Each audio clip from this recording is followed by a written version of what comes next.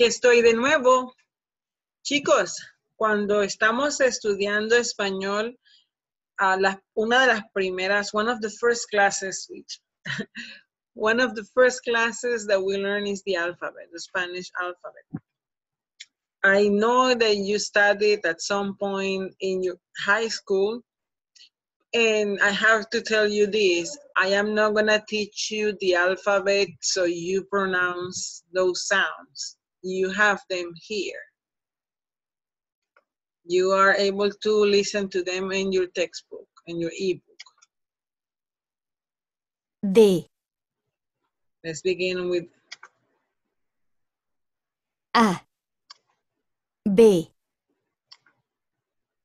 C, D, E, F, G, H, I, J, K, L, M, N, Ñ, O, P, Q, R, S,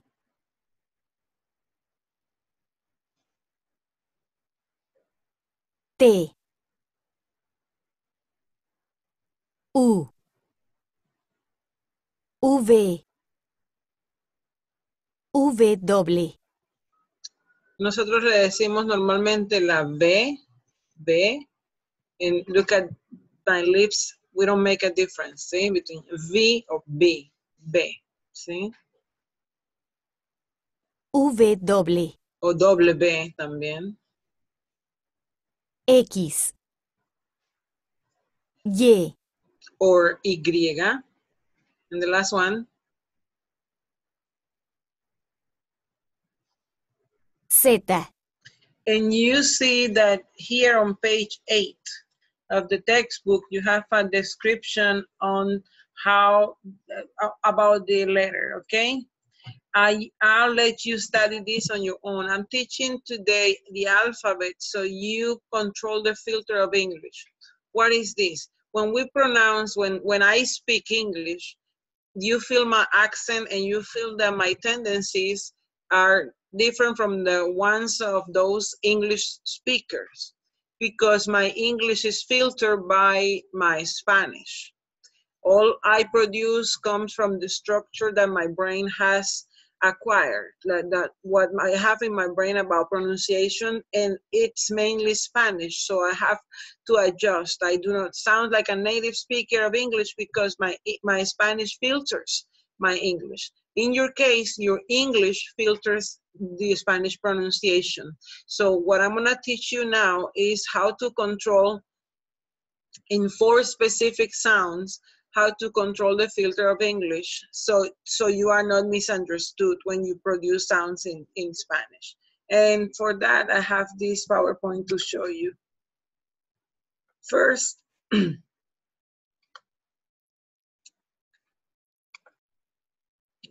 sharing. First, let me tell you that yes, the two languages have very similarities. See the two languages. If you see these letters, what is missing in the in this one? What is missing? La E. So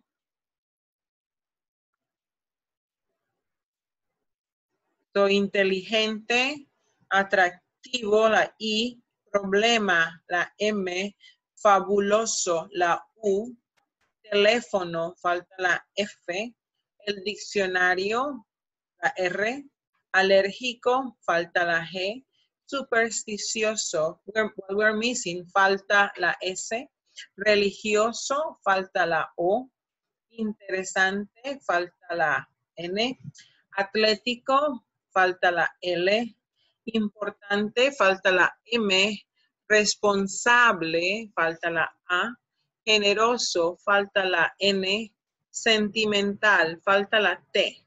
Impaciente, falta la P. Extrovertido, falta la D. Y, eh, in- introvertido, falta la B. You read these 18 words and you are able to recognize them because they are cognates, they are cognados.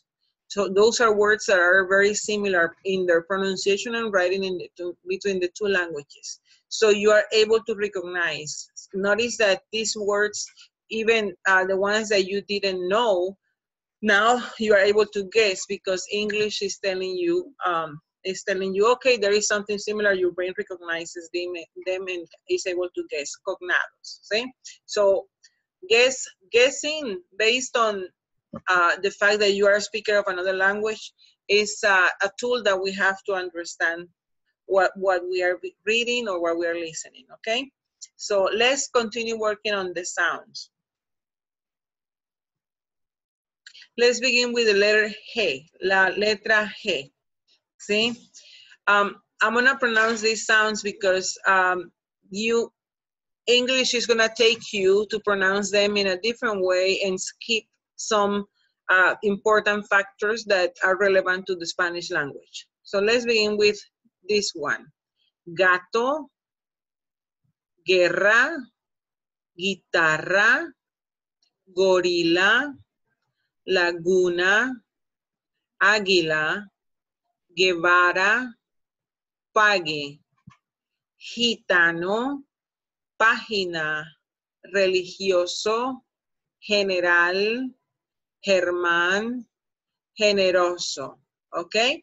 The first thing that we have to pay attention, beginning with the last three, general, Germán, and generoso, is that Spanish doesn't go for with the G sound that you have in general uh, uh, or generous. See? So the sound for Spanish would be g, g or ha ha. Okay? So we have religioso, that's the ha ha sound, or guitarra, gato is the g, g sound. So that's one thing to identify so we control the filter of English. There is no G sound when we have the letter, la letra G, okay? Now, that's one piece. Second piece, we have to group them. Did you notice that gato, gorila, laguna, and let me take my pen here to um, mark them. So gato, laguna, gorila. They have the g, g sound, ga, go, gu. See, ga, go, gu.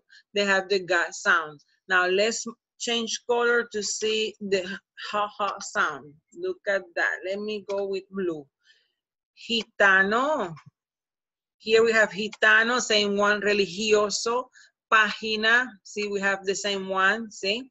General, perfecto. So he, and we have he in general, he in Germán, and he in generoso, see? Those are the he, he sound, see? he, he sound. But notice that we have a different, a, a third group. We have a third group here. We have here guerra, guitarra, águila, Guevara,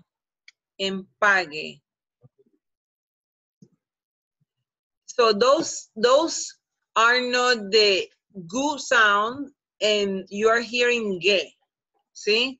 What we have is the combination of G with E that has in the middle the letter U.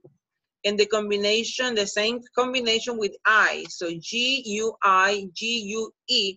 They don't belong to the G, G sound. They don't belong to the H, H sound. But to assimilate to the, the norms of the language, the U is inserted in between them, so you are able to pronounce them in one of the two groups, and it's the, the G, G group. So the same way that gato, well, the combination G-U-E is trying to find it and assimilate, and it goes to the g-g pronunciation similar to gato. Got it? So the rule will be this. When you have G with E is pronounced he, but the, the uh, anomaly the anomaly comes when we, we, we need to pronounce to get it to the, to the g, g sound. So combination G-U-E, combination G-U-I, the U doesn't sound and you pronounce it with the g, g sound. So it goes to the G-A, G-O, and G-U group that way. So gato, guerra, guitarra, gorilla, and laguna, and that they go back to the norm. See, if the U is not in the middle, then you go for the other group. He, he, he, he. So religioso with the G-I. See, religioso or G-E, German. See, as soon as you see the U in between, it goes to the G, G sound, okay? And that way you don't say gue because that, that that combination, you don't produce, that U is mute, that U is invisible. Got it? So this is what happens in the in the pronunciation of G when you trying to pronounce it in English filters you, taking you to general or generals. and you would say generoso, and that does not exist. You have to say generoso, okay? Or the other tendency that English would take you is to pronounce the U when you have the combination of G-U-E or G-U-I. It would, English would tell you GUI or GUE, and that doesn't exist, okay? That combination is make is pushing you towards the pronunciation of ge and gi, which is the norm. Second, second uh, letter that we have to pay attention is the this this sounds C, S, and Z. Okay, so if you are pronouncing uh, pronouncing as somebody from Spain, you would make a difference, like corazón, zapato. But in general terms, all the Latin American uh, countries that we pronounce all these three together. But there is one, there is, there are some exceptions where the sound is different. Let's begin with saying that S is gonna be S wherever it is, and it's not gonna be vibrating, see? So when we have says, every letter that we spot here, every sound that S is gonna sound says, somos, got it? Uh, and all the letters, so sa, sabor, seis, siéntate, son, suyos, or su, those are combinations that I'm trying to make with the letter su, the letter S. All of them are gonna sound S. Let's switch to uh, letter C. There, here we have to split them, see? So we say doce, we say cena, we have the CE, and we have cacique, we have CI, okay? CE and CI are gonna sound as an as an S sound, like the same way you say seis, you say doce. CE and CI. Now, what happens when you have C with A, C with O, and C with um where am I missing A, A, E, C with A, C with oh that's Bethany. Oh my God, sorry. Um, this the sound from the C changes to as a K, okay? So we have capital, and we see here, we see here, capital, or C-O, cocodrilo. So ca, co, see? C, C, and then Q, like cuando. Let me write it here. When you have this combination, I'm not talking about the A, I'm talking about the U, see?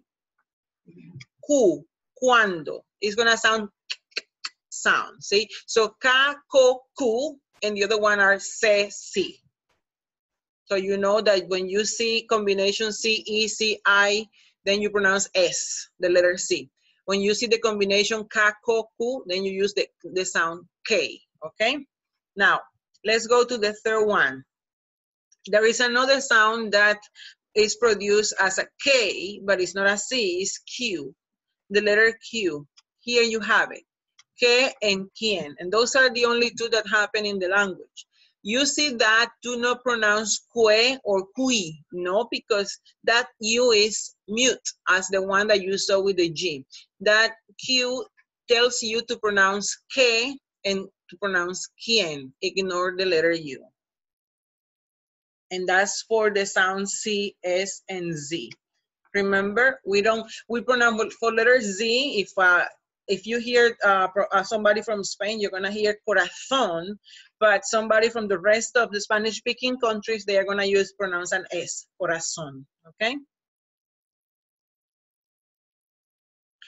Um, this would be practice if we were in a silent classroom, but I am not.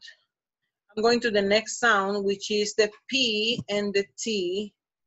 And let me find it for you, chicos. Okay, I'm not finding it, but I do have these sounds uh, in, in, uh, in front of you. What happens with these sounds, and I'm gonna just work on the first two, see, is that the letter T and the letter P are really different between uh, Spanish and English.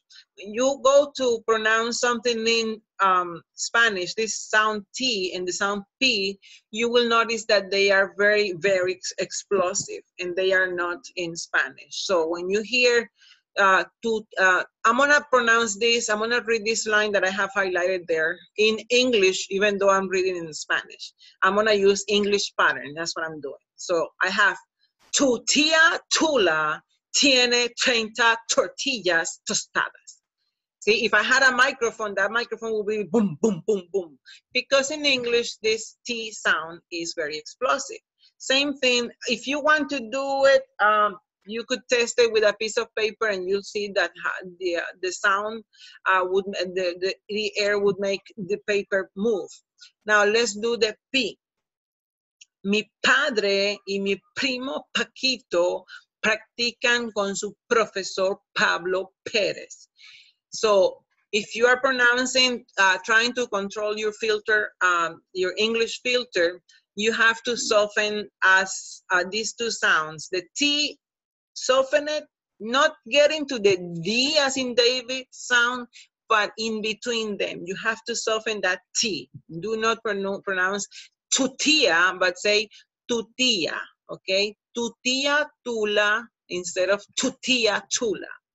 Tiene 30, tiene 30 tortillas tostadas, tortillas tostadas. See, you see the difference? Now, if we pronounce the second line, you'll hear that, that instead of saying mi padre, you would say mi padre. Sometimes if I pronounce, if I'm saying something in English, and it's a P sound, since I since I don't produce the P as explosive as it should be in English, you guys tend to see to think that I'm producing a B as in boy sound and not. It's just because it, my Spanish is filtering the filtering my production of the P sound. Well, you have to soften it to sound more uh, native-like and to sound and not to miss uh, confuse the one who's listening to you. So the line number two would be mi padre y mi primo Paquito practican con su profesor Pablo Pérez. ¿sí? And I invite you to practice all these other uh, lines. Yes, stop the video and practice Patricia Pineda and continue. Uh, um, the other one that I want you guys to practice since we already covered letter G is number six and number seven. So stop the video and practice on your own. This will help you improve your pronunciation and control your English filter in the Spanish language. Okay. Muy bien. I'm gonna keep those.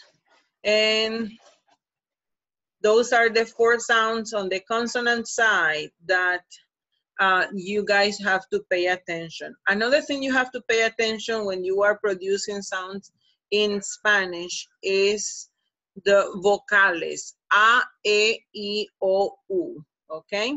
Let's go there. We only have five sounds in Spanish with five with five letters. See? So we have um, here um, A, E, I, O, U. Let's play this rhyme that we uh, play when we were chi- uh, little children in, in, in our countries. A, E, I, O, U. Arbolito de Perú. ¿Cómo te llamas tú? You can practice it. Now, you have to pronounce the A as that, A. There is not A as in table. There is not A as in apple. Uh, you have to say the A. The E is the one that elephant, elefante. That's the E, and it's only one. See, the E, the letter I for you, is only E, no I, or a. It's not short or not blended with, uh, with another sound. No. You have to say A, E, I. The O is not O, it's O. See? And the U is not U as in music, is U. Okay? So, why is this important? Well, notice this.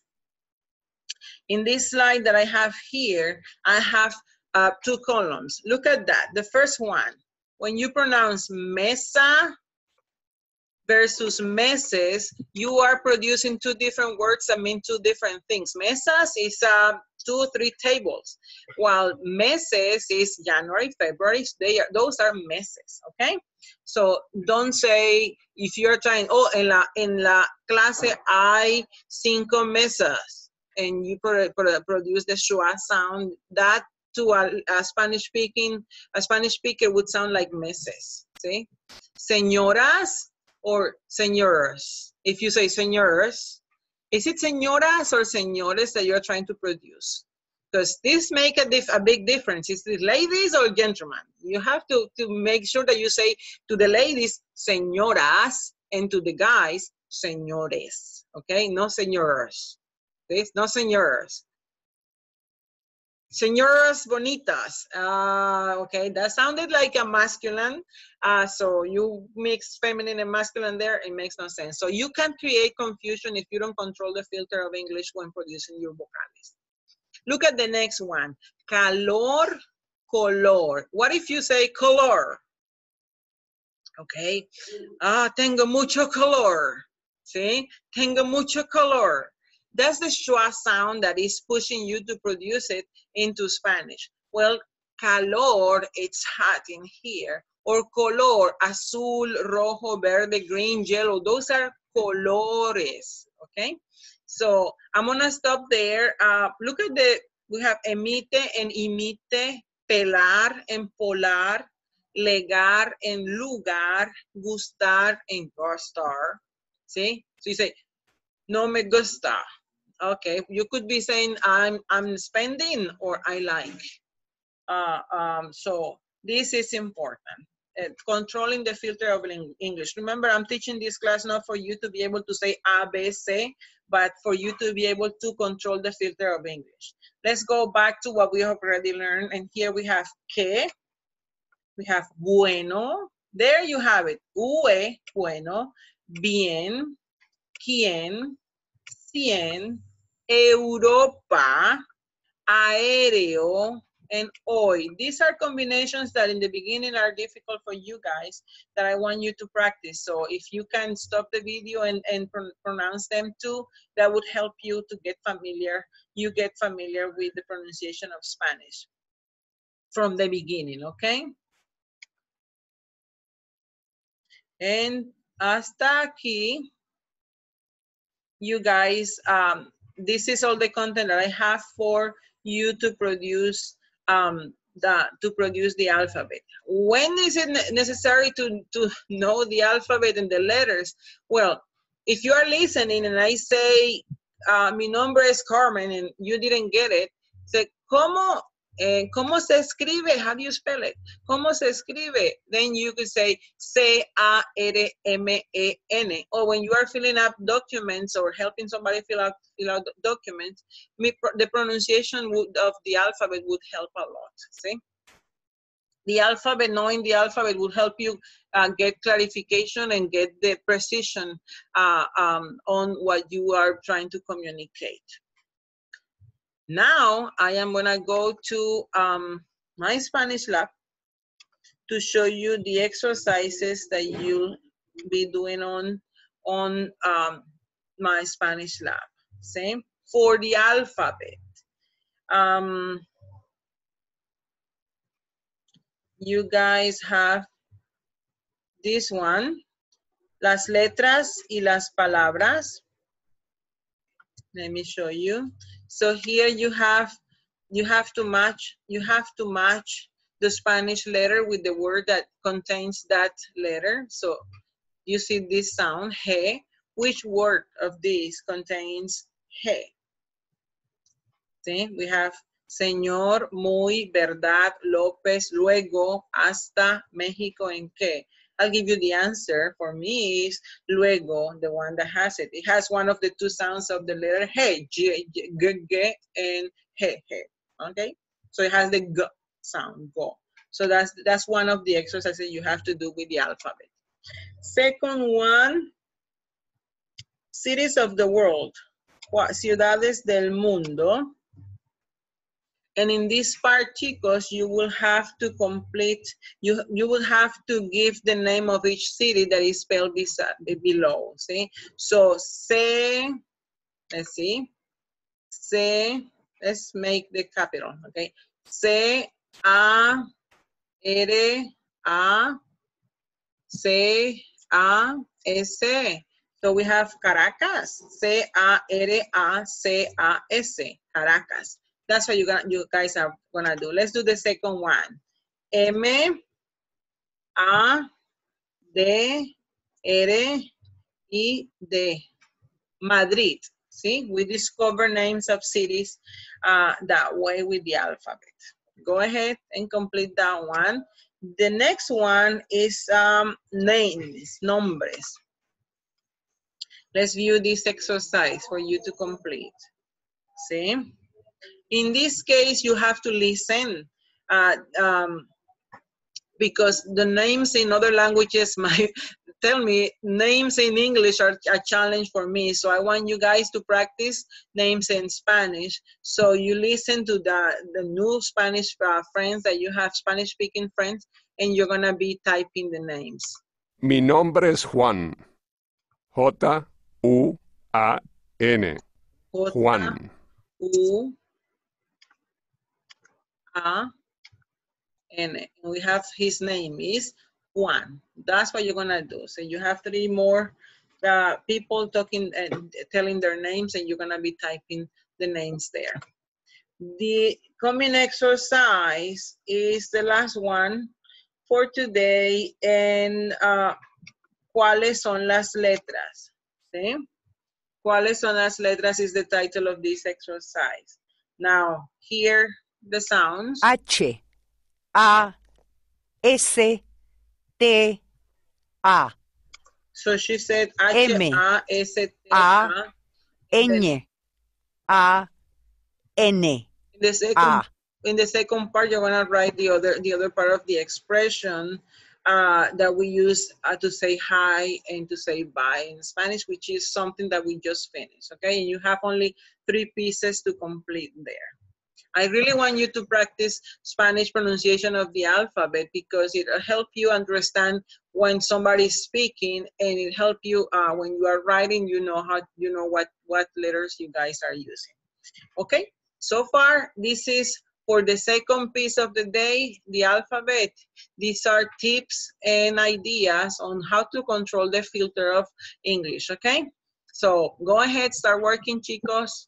Bye-bye. Gracias. God bless you.